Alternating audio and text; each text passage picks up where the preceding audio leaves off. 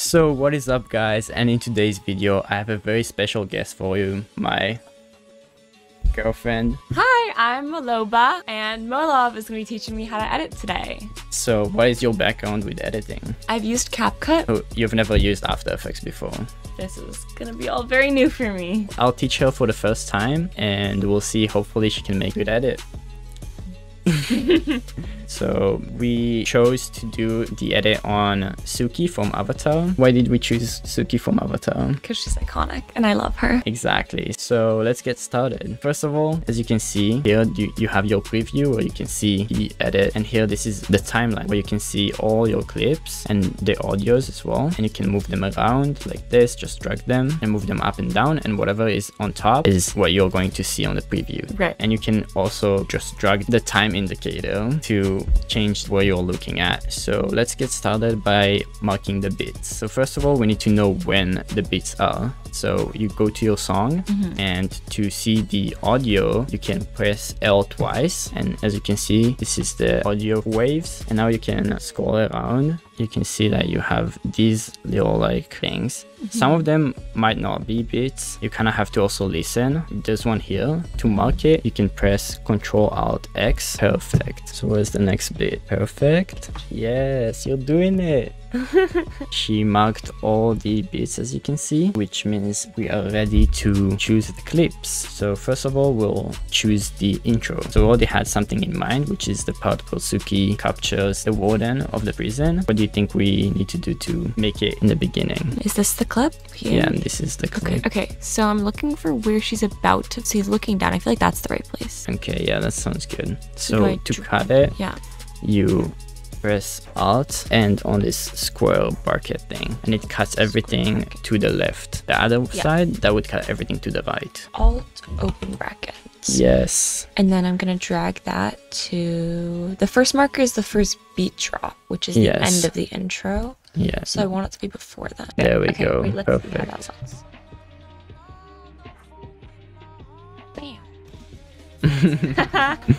so now that we have the intro so we're gonna move that all the way up. All the way up here. yes. Okay. and then go to where the drop happens. Yeah. yes and cut everything to the right. Perfect. So now i have a bunch more Suki clips and we're gonna look around and choose which one we'll use for the edit. Falling Dreaming, talking, talking in your sleep i know you want to cry all night. okay that sounds good She just get whacked, but we'll ignore that part.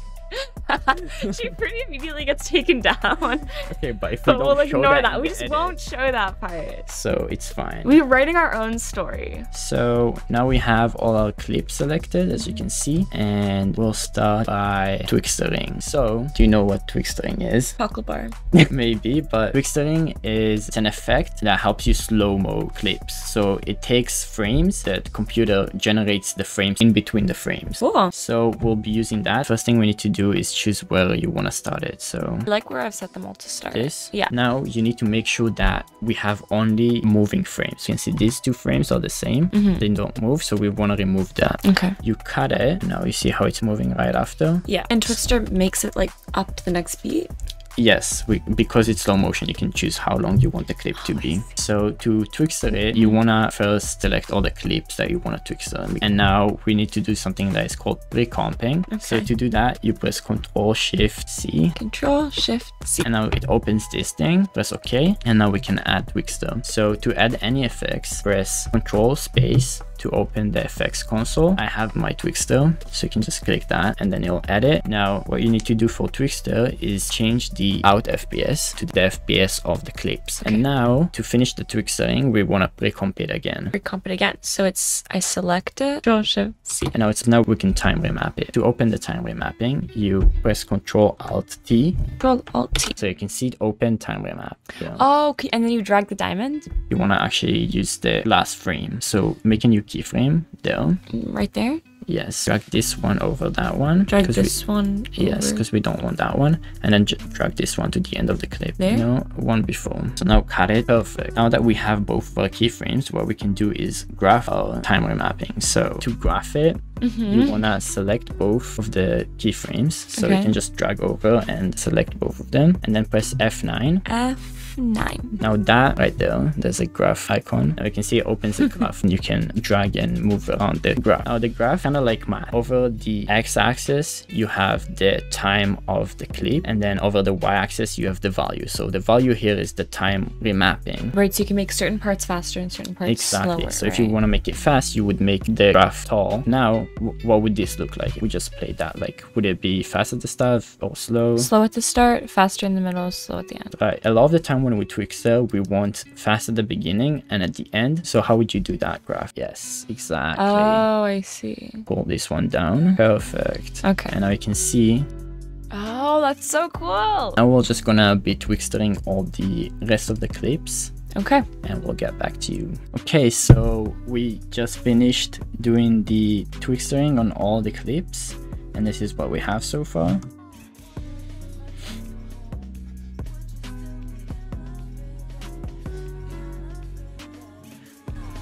What do we think? Excellent. And now the next part is transitions. So to make it transitions, first of all, you need to think what transition you want to do. Let's zoom in. Yeah. So what we need to do is add nulls. To add nulls, you just go here and press add. Add. And now we want two though, right? Because we have two transitions. Mm-hmm. So add another one. Add. Now for the transitions, press S. You can see open scale here. Now you wanna put a keyframe at the end of the clip. At the end of this clip. yeah, there. There. Keyframe. And... Press on the stopwatch, and then as you can see, it adds a diamond. Oh, I see. Okay. And then you go to the beginning, and now you can change the value. So like So I want to be less. And so now you have both keyframes, but what's the problem with this? The outside's all flat. Right, so to fix that, we need to add an effect called motion tile. So now it doesn't do anything. What you want to change is the output width and height. So as you can see, it mirrors the clip Right. on the sides. Press on mirror edges, and then it mirrors that like the opposite. So for the transition itself, as you can see, it's very slow. How would you make them move faster? Changing like the graph. Yes, You would drag it, the line up more, and then So select them. both the keyframes. and then apply. Okay, Sweet. so we have the first transition. Now for the second one, uh, what do you think will Okay, it was like this. The fans are circular. Could we just rotation? Yeah. If S open scale, what would R. rotation be? Try it. Perfect. So you can see now it opened rotation. For the second transition, you wanna have the first keyframe around the middle of the clip, and then go to the end and change it. And over. we want it to be that way. Yep. You don't want it to be Forty. too much. Now, what, what do we do? This we want to make looks sure that it's quicker at the beginning, The beginning. or if it's out, so it's quicker at the end. No, you need to click twice on the uh, apply. Yeah. Okay, Perfect. let's see.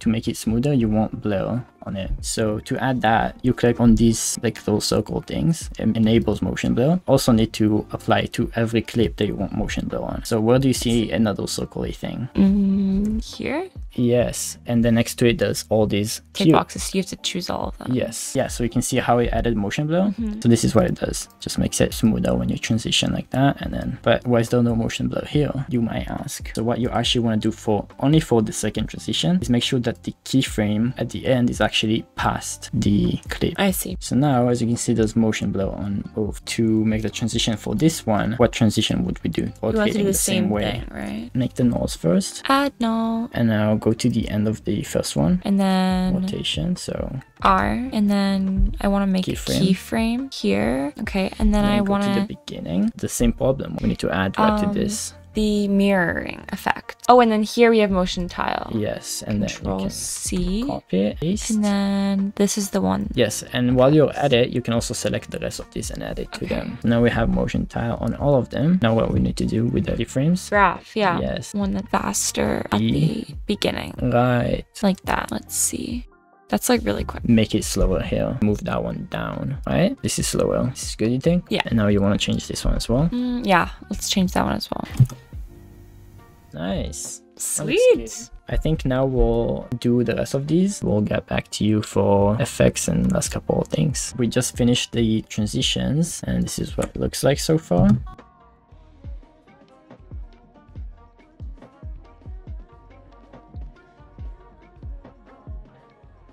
pretty nice. With that being said, we'll try to add like one or two effects. Well, just two really basic ones. So one of them is ghost invert thing. I don't think it has like an actual name. Add effects, we want to go inside the pre-comps. You want to have another one of these clips. So you duplicate it, which Control C, Control V. now you want to add invert on this one. So Okay, how do I do that? effects console. You want to add one that is called S invert duration and can just make that zero to make it black and white. Uh, You know, it doesn't have to be exactly zero. exactly zero. Okay, thank you. So now you can see it's inverted. Okay. We want it to kind of go towards us. How do we do that? Um, scale Right, and then keyframe it, right here at the start. Yeah. Okay. and then go to the end and keyframe it so it goes closer to us. Okay, and then keyframe is just closer to us. Yeah, not too much. There. Whatever you think. And now you want to fade it out. So for that, you add opacity. It's just T. Keyframe at the end and the beginning as well. To start, then- it's a hundred. Sure. Yeah, so keyframe it, and then you want to fade it out. So at the end, you want to make it zero. And now look what it looks like. See?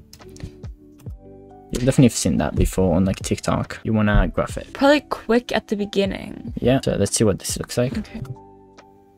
No, that's a bit fast, no? Yeah. Uh, and I'm applying it to the scale. Yeah, and now for the opacity, you do want it to start a little bit fast, but also you still want it to be able to see it at the end, at least a little bit. So how would you do that? The opposite. Right, and then and then like still be able to see it at the end. So Yeah. There. maybe a bit less, and see what this looks like. That is pretty cool. So we have one effect done, and now I think we'll add an effect called CC Light Rays. To add CC Light Rays, you use something called an adjustment layer. So to add one, you can just right click and then new, and then adjustment layer. Perfect. Now you can add CC Light Rays on it. Is that an effect? Yep. And now mm-hmm. this is where your light ray is. You can see you can drag it around. You can see Oh, what that's so cool. You can like you want to move it to where you want it to be at the beginning of the clip. Move it to where I want it to be at the beginning of the clip. Okay, so there, and, And it's then go to the end. And then go to the end. Perfect. Okay, And and, now then... let's see what this looks like. That's cool. With that done, we'll just add shakes. So shakes, you also add on an adjustment layer. New adjustment layer. Perfect. And then... And now we'll use Twitch. So add Twitch go to enable and click on the arrow and then press on slide. So cut it to where it's the beginning of the clip. right there. Yeah. Now, so you already have a shake now. You can see too much. It's too Way long. too much shake, yeah. To change that, you need to keyframe the amount. So, So that's basically how much it shakes. At the beginning. So go to around the middle of the clip And then make it zero. make it zero. So you want it to be shaky at the beginning and then stop shaking. So Okay. how would you graph it? That? But you need to select Uh. the keyframes. Bam. And now let's see what this looks like. Cool. So now we will just add that on every bit. Is there gonna copy that? Yeah. You don't even need to copy the effect. You can just copy the adjustment layer. Uh huh. And So then do I do you- paste it to here? To need it on top of the layers, yeah. And the last thing we want to add is color correction. It's just to make the colors look Mm-hmm. like how you want it to look like. So for that, we will add another adjustment layer. adjustment layer. and then add it on top and now add an effect called looks you go into edit there is a bunch of different effects to use for color correction but they've made so many presets here for color correction so you can kind of like see what the clip looks like here and then choose one that you like Yeah, I like that one. okay so yeah press on that press on check and now it adds it on all of it That looks great. yeah that is pretty much hmm. the edit done i'll just render it and i'll show you guys the finished result Sweet. Wow, wow, wow, wow, wow, wow.